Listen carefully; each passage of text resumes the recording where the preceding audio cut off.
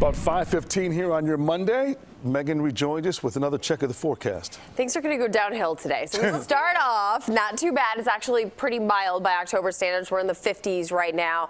Do have a lot of cloud cover, but just to our west, we've got rain. We've got showers. We've got storms, and that stuff is going to be pushing in before the end of the morning commute. So right now, we really have cloudy skies at 6 o'clock this morning. Winds are still pretty tame coming in out of the south and east at 10 miles an hour. You have a temp of 56. Okay, that's that's fine. But watch where we go from here. By 8.30, winds are ramping up into the teens, sustained, gusting into the 20s. Still fairly mild at 57. Still dry, though, at 8.30 this morning from Lake County to Cook, down over into Lake and Porter in Indiana. But the rain now uh, coming down for you around Kankakee, Joliet, Morris, Aurora, and DeKalb. And then it continues progressing eastward. We'll see those scattered showers off and on. And look at the wind ramping up by lunchtime to sustained at around 20 miles an hour. Temperature still about 60 degrees, but we still have those scattered showers and storms in play. Then the rain is exited on off to the east. We have southwesterly winds at about 16 at 430.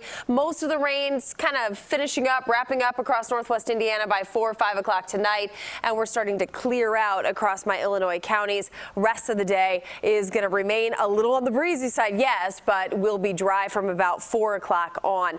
We're at 53 degrees for tomorrow and mostly cloudy. So after the passage of today, today's front, we take a big nosedive. So today's around the 60s, but we go down to 53 degrees for your Tuesday. And we're going to remain in the 50s, even topping out on Friday, only in the 40s. For your Wednesday, it's 58 degrees. That's not a bad one. High temperatures will get up to about 60 at Midway, 61 degrees for Valparaiso, and 62 for Kankakee. Next chance of rain after today will be on Thursday. We'll just see a few showers. You can see here looking at the map that there's just a little bit of rain that's going to be coming through uh, starting on Thursday. Friday, I've got 48 for your high, but look at the morning temperatures only right around the freezing point. and that's going to be difficult to deal with. So by Friday morning, we're talking about temperatures starting off at the freezing point, hard freeze likely for all of us. Saturday, you got 51 degrees, and we're going to be going for highs at 51 or so for O'Hare, 56 Midway, about 58 degrees for Valparaiso, and that's pushing into